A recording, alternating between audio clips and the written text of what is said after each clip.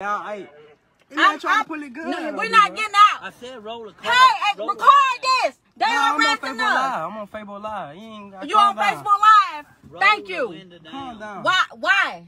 Because I need your oh, identification. I okay. need the paperwork for your vehicle.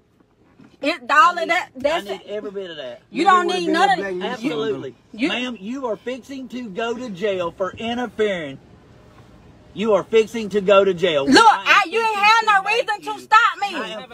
Am to make you get out of Okay, the you car. can get the vi- check the VIN number. You can give me a, a ticket. No, ma'am, I you don't do. have to check the VIN number. That's not part of my job description.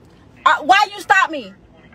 I stopped right here. I pulled over in a public I'm place where you I for- feel safe. And I'm asking you Okay, for I pulled over in a public. and the- Let me call. I'm gonna call Bernard and let him see what's going on. I, I don't know if they're local or not.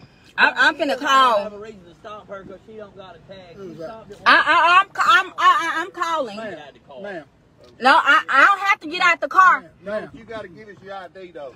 I, I, how I got? Yeah, look, hey, how